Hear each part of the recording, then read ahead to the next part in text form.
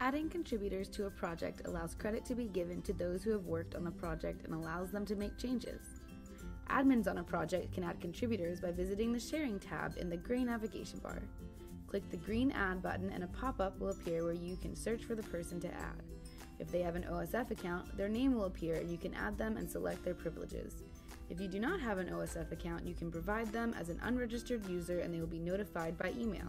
Each contributor will have access to the same files, know the state of the project, and you can pick which components they have access to.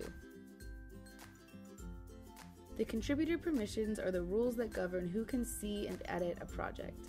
When a project is made, the creator is automatically the administrator, meaning they can add other people and make changes to the project. The admin can add contributors and make them administrators as well, or they can assign the other contributors read and write or even just read privileges. As you might expect, having reading privileges means that you can see any project or component on which you are listed as a contributor.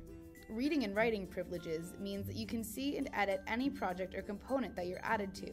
However, you cannot add or remove contributors, delete components, or register projects. One perk of being an admin on a project is that you can change the order that the contributors are listed with a simple drag and drop.